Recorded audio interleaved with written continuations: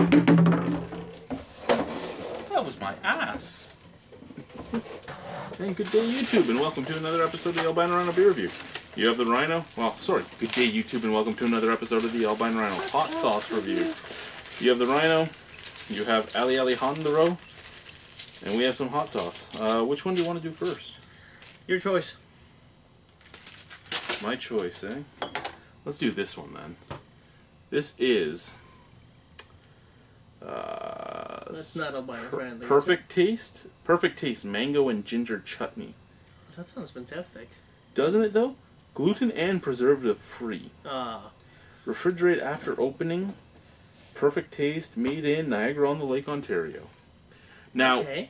this is the same place I bought that tomato chutney that was spectacular. So, so I'm excited.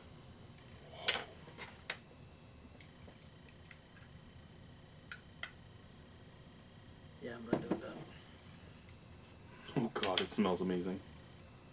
I don't know what the ingredients are because I was I was too fast on the uptake, but that smells awesome.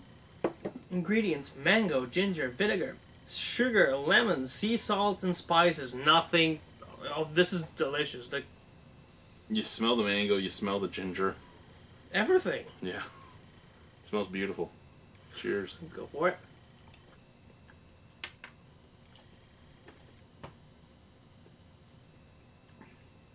This is not hot at all, but it is perfect taste.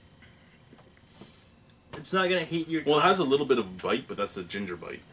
Yeah, like but like it's not it's not hot at all for hot sauce like hot sauce wise. It's like a hot jam. this is still this is really perfect taste. It is.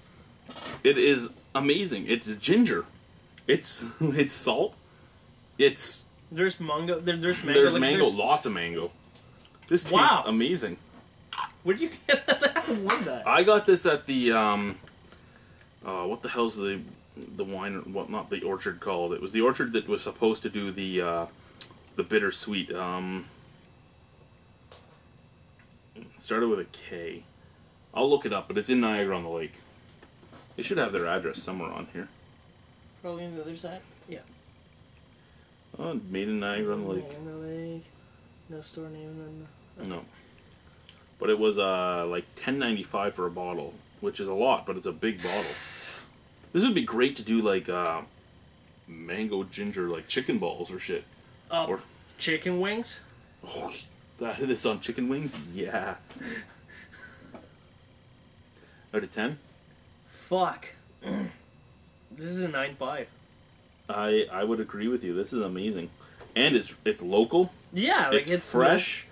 There's there's nothing you can bitch about about with with this. there's no preservatives. There's no artificial flavors. There's there's nothing bad in this. It's just The name the, says heat, it all. the heat's coming all from the ginger, and yeah, no. If you're looking for hot sauce, this is not the way. To, this is not the place to look at.